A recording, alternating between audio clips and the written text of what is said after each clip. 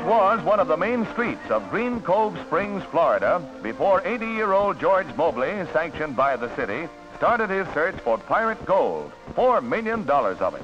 He is backed by retired Dr. H.H. H. Humphreys of Jacksonville. It's a treasure hunt on a big scale, and the diggings are getting down to the 15-foot level, about the halfway mark.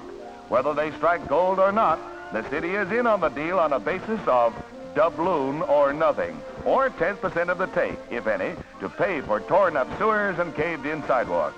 But what can Green Cove Springs lose? They're definitely on the pirate map now. Despite a few cave-ins and water, Mr. Mobley believes he's on the track, and there are plenty who think that the divining rod is pointing straight at a chest filled with pieces of eight. Well, gold's where you find it.